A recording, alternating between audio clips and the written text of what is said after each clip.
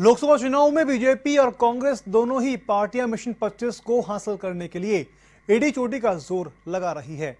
वहीं पर भाजपा का गढ़ बन जाने वाली जयपुर शहर की लोकसभा सीट पर भी इस बार चुनावी मुकाबला रोचक होता हुआ दिखाई दे रहा है। दरअसल, कांग्रेस ने इस बार मौजूदा सांसद रामचंद्र बोहरा के खिलाफ में पूर्व महापौर ज्योति खंडेलवाल को चुनावी मैदान में उतारा है, जिसके बाद में यहाँ के समीकरण बदलने लगे हैं। इस पर पेश है हमारी खास रिपोर्ट। बनाए रखेंगे। बनाए रखेंगे तथा स्वतंत्र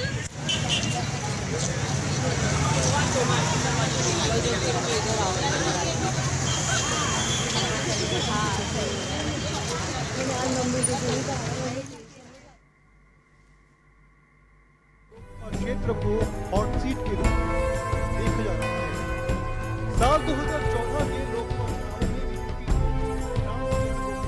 पाँच लाख से अधिक मतों से रिकॉर्ड जीत दर्ज की थी।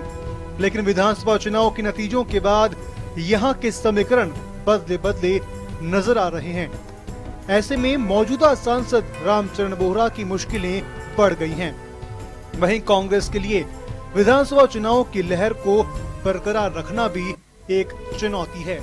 जयपुर में चुनावी शहर लोकसभा सीट पर कांटे की टक्कर जयपुर शहर सीट रही है भाजपा की परंपरागत सीट।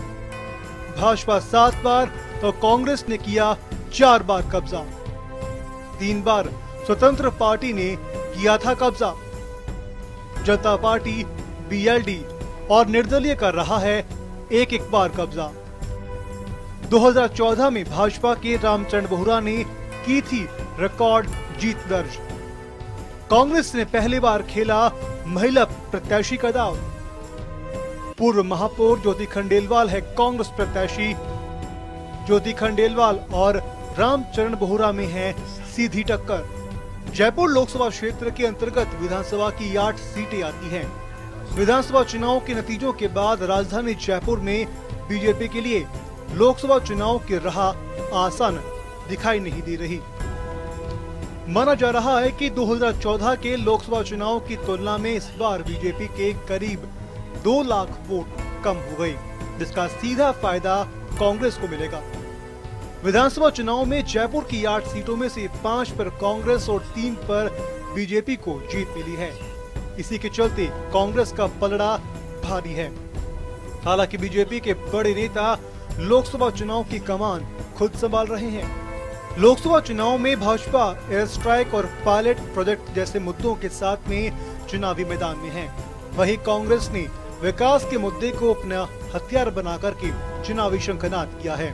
जब देखना यह है कि जयपुर से बोहरा की रिकॉर्ड जीत कायम रहेगी या फिर लोकसभा के जंग में ज्योति का परचम लहराएगा।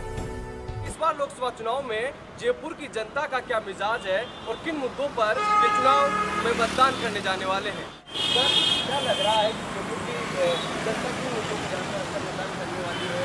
क्या वो लहर बरकरार रहेगी इस वक्त विश्व में हिंदुस्तान का जो नाम है, वो अपने माननीय प्रधानमंत्री नरेंद्र मोदी जी की वजह से जो स्थान मिला है, वो इस स्वतंत्रता के बाद कभी भी ये स्थान नहीं था एयर स्ट्राइक्स और बहुत से मुद्दों को देखते हुए जनता का रुझान ना किसी राज्य विशेष के लिए होकर के प्रधानमंत्री नरेंद्र मोदी के चेहरे को देखते हुए रामचरण बोरा जी को मत देकर के मुझे यहाँ पर फूल बनाने वाले हैं उनसे बात करेंगे। पंडित जी। अपने फूल बनाने का कब से काम कर रहे हैं?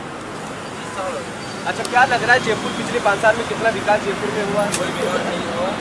अच्छा इस बार जो कांग्रेस और बीजेपी की टक्कर मानी जा रही है। ज्योति खंडेलवाल कांग्रेस की बड़ी मजबूती से एक महीना प्रत्याशी और टक्कर दे रही है रामचंद्र मोहरा को। आपको लग रहा है कि ज्योति खंडेलवाल फाइट कर पाएगी? अच्छा।